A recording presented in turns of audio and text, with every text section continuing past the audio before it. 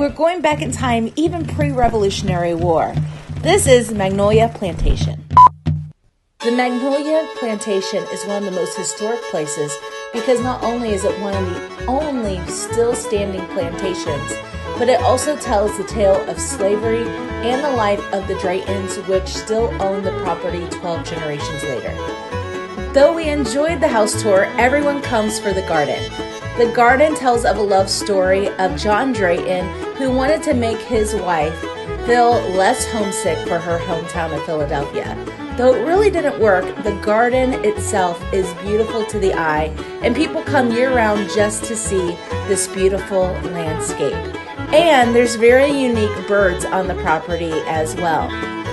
For the massive history of this place and for the beauty of the gardens, Magnolia Plantations is worth checking out.